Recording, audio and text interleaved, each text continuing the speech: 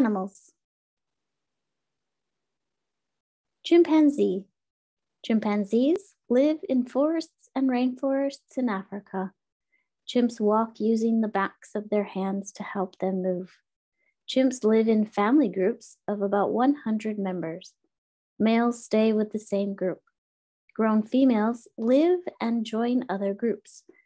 Chimps use their bodies and faces to show what they want.